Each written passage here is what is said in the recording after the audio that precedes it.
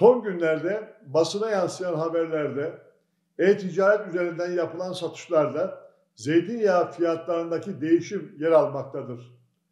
Farklı adlar altında satılan 5 litrelik zeytinyağı fiyatları e-ticarette 350-500 lira arasında değişmektedir.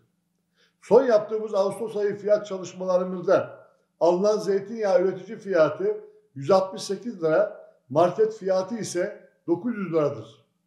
Kamuoyunda bilinen markaların 5 litrelik zeytinyağı fiyatları 900 lira ile 1400 lira civarındadır. Zeytinyağı fiyatları üretim düşüklüğü yüzünden Avrupa'da ve Türkiye'de rekor kırarken özellikle e-ticaret yoluyla satılan zeytinyağı fiyatlarının bu kadar düşük olması akıllara taklit ve taşişi getirmektedir. Zeytinyağı Akdeniz ülkelerinde üretilen, içerdiği fonksiyonel nitelikteki bileşenler nedeniyle ön plana çıkan ve en fazla taklit ve taşiş uygulanan gıda maddelerindendir.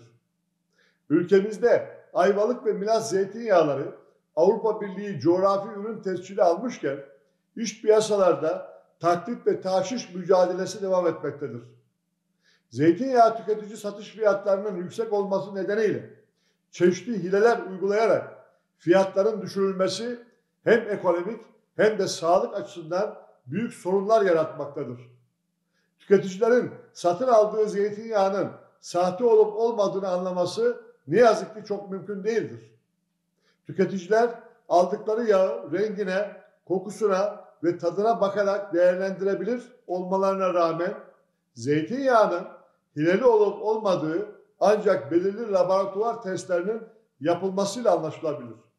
Bu nedenle tüketicilerimiz yağlarını güvenli satış yerlerinden ve markalardan almalıdır. Yapılan denetimler sonucunda uygulanan cezai işlemler caydırıcı nitelikte olmadığı için zeytinyağında yapılan sahtekarlık önlenememektedir. Bu durumda en büyük zararı tüketiciler görmektedir. Tüketiciler zeytinyağı diye litresine 80-100 lira ödediği yağ aslında çok daha ucuz olan pamuk yağı, kanola, ast bir yağ olduğunun çoğu zaman farkında bile olmamaktadır. İnternet üzerinden nerede üretildiği, stoklandığı belirlenmeyen ve insan sağlığı için tehdit teşkil eden bu ürünleri Tarım ve Orman Bakanlığı takip etmeli ve denetlemelidir.